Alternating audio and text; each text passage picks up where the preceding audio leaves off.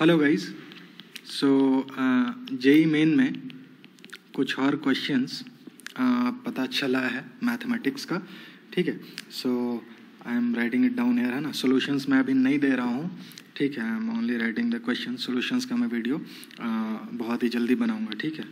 So I am only writing the questions quickly for your ready reference so ये question था definite uh, integration का। Second uh, है vector से।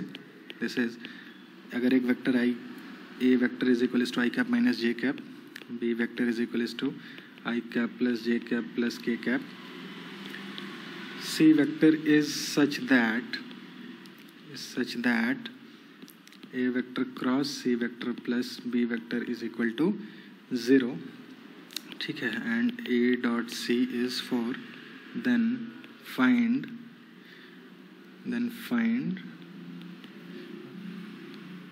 mod C square ठीक है?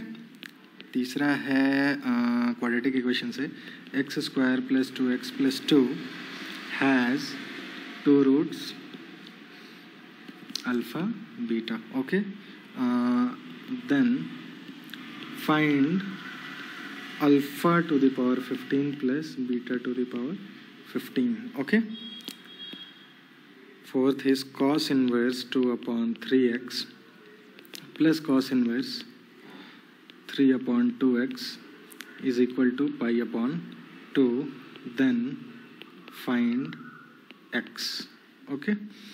Fifth is if e is greater than 2 of the hyperbola x square upon cos alpha minus y square upon sorry this is cos square alpha minus sin square alpha is equals to 1 then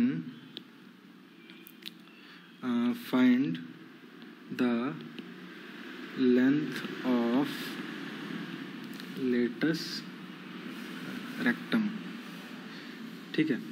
latus rectum का length निकालना था। Actually length नहीं निकालना था question में। Question में बोल रहा था इंटरवल पूछ रहा था ठीक है ना? फाइंड द या से बोल सकते हैं फाइंड इंटरवल ठीक है? In which find interval in which the length of latus rectum lies ठीक है? And there is one more find common tangent एक सर्कल का इक्वेशन दिया हुआ था X square plus Y square is equal to six एक x and एक था Y square is equal to four A X ठीक है? तो ये छः क्वेश्चन अभी तक आउट हुए हैं। ठीक है, और these are all again I am saying memory based तो तो एग्जैक्टली यही होगा I can't say but more और लेस यही होना चाहिए एक्सपेक्टेड है।